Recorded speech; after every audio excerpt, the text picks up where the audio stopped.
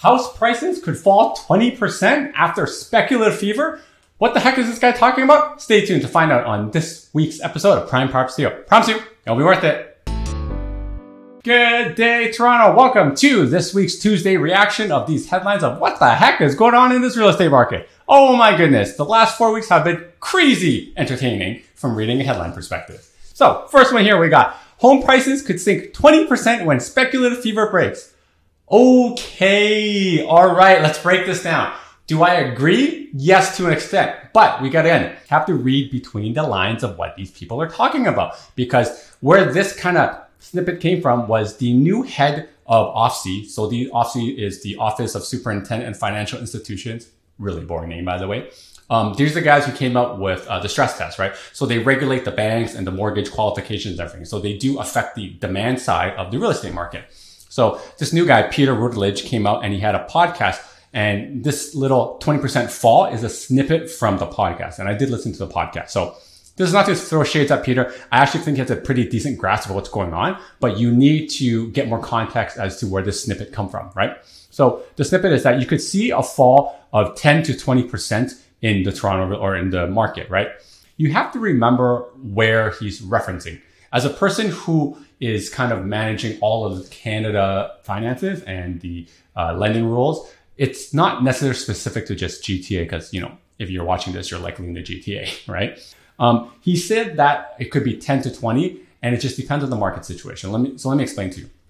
If you have areas that have doubled in price almost, kind of like your Bancroft and Tillsonburgs, I think those are more at risk to a price correction of 10 to 20% than your kind of GTA areas or Vancouver areas because those have a little bit more fundamentals behind them.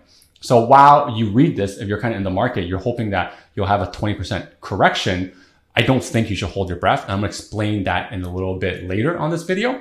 Um, but he says that Canada has emerged as one of the frothiest markets for the last 12 years, which is correct, right? And we've kind of have new records high. But he's just concerned that if the interest rates do go up, which he says right here, that will bring an end to the speculative fever.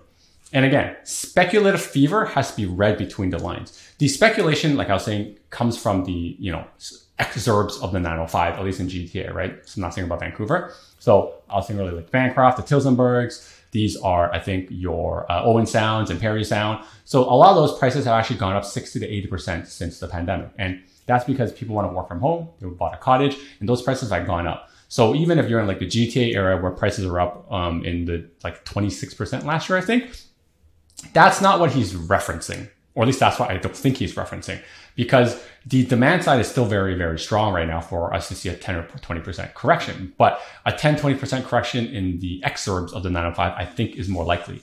Kind of similar to in 2017 when there is kind of a policy change or something happens towards the end, it will affect those who have seen the most speculativeness, right? So the foreign buyer tax obviously affected the 905 the most. And you have to remember how that happened was we saw, like as Toronto, we saw what happened in Vancouver when they implemented the tax. And they're like, oh man, the prices came down quite a lot. so when that was coming into Ontario, we already knew what the effects would be from watching Vancouver. So a lot of sellers were like, oh, gotta sell right now. A lot of inventory. A lot of buyers were like, oh, I better wait. So that was a complete 180 sentiment change. When we talk about pricing correction from interest rate, that won't be so instant like that. It's going to be more gradual because they have to build these interest rates and and normally these interest rates go up like, you know, 25 basis points or 0.25%. We could maybe see a 50. People are talking about it. I don't think so. But we're not going to see like a massive policy correction like we did uh, that will affect the market and make it drop in 10, 20%. It's going to be gradual, right? So again, anyone who's hoping for it, don't hold your breath. Now, he goes on to talk about that even if there's a 20% correction, we can absorb that volatility. And he is correct in that sense. And let me tell you why. Just looking at the GTA area, in 2021, prices went up 26.6%. If it goes up 26.6% and we go down 20%, and let's just assume overnight, you're still above if you bought in 2021 most of the time, right? At the start of 2021. And uh, more about this in next Thursday's kind of episode. The market watch that came up for January, prices were up 7.3% in a month. So 26.6 plus 73.3, I'm not going to do the math, but like 33%. So what does a 20% correction do? Bring you back to like August, May of 2021? right? And I'm not saying like, you know, this is normal. This is totally not normal. I'm just trying to give you some perspective onto kind of like the absorbing of this volatility, right? So that's why if you're going to buy in the core where the fundamentals are and, you know, the cities, I think you're better holding there and what the, could see a correction. And if there is a domino fall, it will be the exurbs. These are kind of like your cottage towns, right? Your Peterborough is really far out, or like cottage like Kawartha Lakes, or you know, really up north in like Muskoka. Those are the ones you really got to watch out for, right? Because those prices went up like way more than 50% in each of those little counties in the last like 18 months or so. So you got to watch out. Now, when I talk about where prices are going to go. I've been explaining this chart to a lot of my clients and don't be startled. It's a lot of colors. I added them in, but this is a chart, uh, courtesy of Ben, uh, Ben from Edge Analytics. It kind of explains to you how prices change on a month to month basis, depending on the months of inventory that's available, right? So I've always used months of inventory as a way to see as an in leading indicator of where prices are going to be. And let me explain that to you. So a month of inventory is a stat in which that says, if it's one month of inventory, meaning that if zero listings come out between now and whenever, it will take one whole month for the demand side to absorb it all, to buy it all, to have nothing to buy. So if you have three months of inventory, it takes three months to buy everything if nothing comes out, right? Obviously stuff comes out, but this is just that metric. So generally when you're sub three months of inventory, it's a seller's market, meaning prices go up. If you're above six, generally it's a buyer's market, so prices come down. If you're somewhere between four and six, generally it's what we call balanced market. And that's actually the best market. And in this chart, you can see over here that anything that's above the purple line, you are basically seeing a price appreciation every single month when adjusted. So you can see if every month went up 0.5%, it's one of these blue dots. If it went up 1%, it's one of these dots on this line. And you can basically see anything that went under where the price changed, right? So a crash, a correction, whatever you want to call it. For prices to change and go down from what they were from the previous month, you need to go below the purple line. And what you'll notice here is that in this little yellow box quadrant I highlighted here, there's no blue dots below the purple line unless they are to the right of the blue line, or sorry, uh, the green line. And the green line is months of inventory. And that number is five. So for us to see a price reduction, we need to see at least five months of inventory. You understand? Which means that in 2021, when we plot the charts over here, you can see they're so far to the left and so far high up because we saw less than one or two months of inventory last year and prices went up two to 3% as every single month. And when you analyze that, that's how you get 26% year over year, right? And with the numbers that came out for January 2022, they are literally off the chart. So if I were to plot where Jan- the end of January 2022 went, it's literally off the charts. So you can see we had half a month of inventory. So I'd be like right here coming straight up that line and the, right off the screen. And the prices are 7.43% give or take that went up increase, which means that the, the y axis is so far off to the left that you can't even see it on the chart. Literally off the charts. That's how crazy it is right now. I am at the point where I think it's definitely crazier than 2017, right? Granted, some people are still looking at properties right now, but I'm showing you this because for us to have prices come down, right? Go below zero, this purple line, we need to be in five months of inventory in this little quadrant here, which tells me that we need either to get to get from 0.5 months of inventory to five months of inventory, we have to 10x the supply. I don't think that's happening. Or we 10x reduce the demand. And what interest rate does, it slowly tapers demand, but it does so at a very slow rate.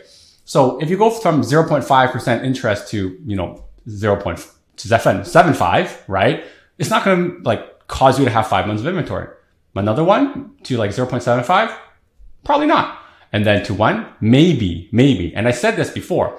I think we need to see variable rates at 3% pre-pandemic before we see any change or even stagnation in kind of the price acceleration, right? So that we start seeing deceleration and then we're seeing reversal in price. And right now the mortgage rate is like 1.5. So we need to see at least six rate hikes.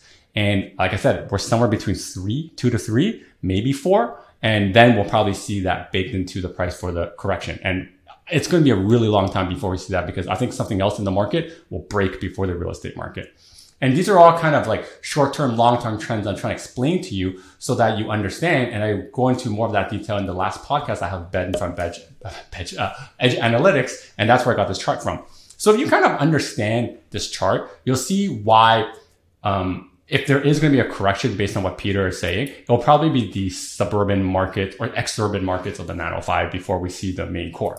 And we'll probably get a sense of kind of how quickly these interest rates are coming and when the sentiment changes for buyers.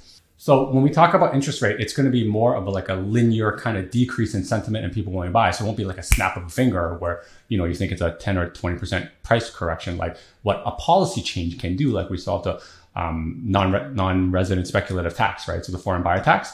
And while I say that, you do have to understand there are policy changes I think that are scheduled in the upcoming few months. But between now and say April or May, those few months, there's no interest rate coming, maybe March, maybe um, and then policy changes maybe aren't coming until much later in the spring. So prices can probably go buck wild between now and then, right? And this is why I'm saying like, yeah, I would not be surprised if we see another five to eight percent increase because in 2017 we saw a 26 percent increase in January all the way to April 1st. Yeah, it was bonkers. It was absolutely bonkers. If this is the type of content you enjoy, help us spread the knowledge by smashing the like button and subscribing to the Prime Property channel because every week we put out content on Tuesdays and Thursdays so that you can get educated and so that we can be transparent and honest and share our data with you in terms of like what's happening in the real estate market. So we do this because we want to be transparent and honest because we want that when you're ready to buy your property, whether it's like your first home, you're upgrading to another home, buying an investment property or selling your home, you'd be like, ah, Zhen him and his team know what they're talking about. So you can book a call with us using the link right here on the bottom of the screen, www.chatwithzhen.com. Now back to the next article. So now that we're fully understanding how quickly something can change in terms of pricing, I'm going to show you another crazy thing that happened on the pre-con space. So Urbanation does a lot of tracking for pre-construction, new builds, and basically now numbers came in for 2021 and it's just record high like crazy. So in 2021, they sold about 31,000 pre-construction units. That is the second highest, only behind 2017. And you can see that it says 77% year over year growth in quarter four. In quarter four, that's how much demand the pre-construction space saw. That means a lot of people were taking money out and piling into real estate. And the reason why there's so much stuff to buy is because builders generally, they're holding on a project for five to 10 years, right? And they're not going to sell it when the market is bad. So when the market is bad, like during the pandemic, nothing got released. But when the market sentiment where like interest rates are low, people want to go buy, FOMO, whatever, they uh, sell because they're more likely to get more buyers at a higher rate because people are kind of speculating into the pre-construction space, right? So right now it says that they exceeded their 10 year average by 43% in that quarter. Holy smokes. And the uh, pricing for unsold condos right now, meaning existing inventory that hasn't been bought, is at $1,322 price per foot in Toronto. Increase of 18% annually. That's absolutely bonkers. That's just absolutely bonkers, right? And this chart here, it shows you that this is 2021. We're at 30,844 units. And 2017, when it was like crazy, crazy for pre-con space, it was about 31,000. So we were still selling pre-cons at that space. And like, oh my goodness, we we're selling for like 900 to $1,000 a foot in the downtown core. Right now we're like 15, 16 and the demand has kind of just ramped up because there's nothing to buy in the resale space, right? So when people are understanding this whole inflation thing, they just borrow from their house because it's gone up 26%, right? Last year, uh, when interest rates are so low and they just buy pre-con, they can carry the cost of borrowing a little bit lower. Um, sorry, cost of borrowing at a lower mortgage rate, right? So that's why there's so much demand for pre-construction. It makes total sense. And you can see here this chart that it kind of talks about the pricing of where it went. So when we were doing pre-con, we are kind of right about the thousand point here in 2017. And then this little spike here was February 2018 when the city of Toronto just doubled development charges overnight, which caused the prices to go from, I think, $1,000 to about like $1,200 a foot in downtown core. And that's kind of when it stopped making sense for me. Uh, but you can see that prices still continue gradually going up. The was the, you know, pandemic pricing for labor and material shortage, and then it continues rising. And it's not that like again, I don't defend anybody, but like when I understand the business met, uh, kind of performance of these builders, they have to make a margin of like 10 to 15 percent. So if they're not making 10 to 15 percent, then they're not going to build the project and it gets canceled, and we have less inventory. But when the prices keep going up and the development charges go up, and I talked about this before, the end user, like us, you and I who buy the pre-con are the ones that absorb it. So when you're at $1,300 a foot, uh, you're way higher than what the resale is, right? and it's kind of speculative. And that's why I tell a lot of people, you got to watch out for when you're buying pre-con because in on the off chance that condo prices don't get to where they will be when you close on it and you underappraise, you have to pay the difference, right? And I saw some of that in 2017 with pre-construction homes, right? Like in the 905 because prices came down. You just got to watch out for that when you're buying, right? And that's kind of why I backed off pre-con for the last little bit. Now you got the last article here. I'm looping this in and you'll see why it kind of real estate related. It says that Canadian unemployment plummets in January with Omicron spread, right? So we lost 200,000 jobs, that's 200,000 jobs last month. And it says here that the unemployment rate rose from 6% to 6.5%. The reason I'm putting this here important is Bank of Canada generally has two mandates, right? You got, uh, make sure inflation is good, right? So it's not going too high, which I think they're failing right now, but you know, transitory. And the second one is make sure the employment is good. And I know they throw in climate change, right? And the reason I'm bringing this up is is this another excuse for Bank of Canada not to increase interest rates in March 2nd? Hmm? Right? Because if they're going to not see uh, favorable numbers for unemployment in February when these numbers get released, are they going to have another reason to not increase interest rate? And when you don't increase interest rate, then people are like, wow, why is Bank of Canada not increasing interest rate? Even though, like I said, they should. And then prices go back wild again, right? So this is how it relates to real estate because everyone's looking at the interest rates as a leading indicator of whether they can clamp down the demand. And if they keep delaying the interest rate increase because of pandemic, Omicron spread, job, or inflation, real estate prices are going to continue going up. It's financial repression when cost of borrowing on a mortgage is lower than infl- inflation. Assets like real estate go whoop right up to the other end of top right corner of the chart. That's basically what it comes down to. So if you understand that, then you'll understand why I kind of looped this in. Now, I still don't think they're going to use this as an excuse. Like, let's say February numbers come reasonable, then they're obviously going to increase in March. But if they don't, oh, that's kind of an interesting take. We'll find out, right? But hopefully they do increase interest rate. Hopefully you guys enjoyed this uh, reaction video on Tuesday. Um, on Thursday, I have the market watch. I'm going to break down all the numbers and kind of show you what the heck just happened in January because it was absolutely bonkers. So make sure you stay tuned and subscribe for that. And if you're looking for help in the real estate market to navigate and grasp all the things I kind of just showed you, because it's a lot of data and I understand, you can book a call with me or my team using the link right here. It's www.chatwithzhen.com. Until next time, your move, your future. See ya. Now that you're done watching this one, how about this one? Oh, you know what? This one's good too. Ooh, this one's really good. You know what? Just watch them both.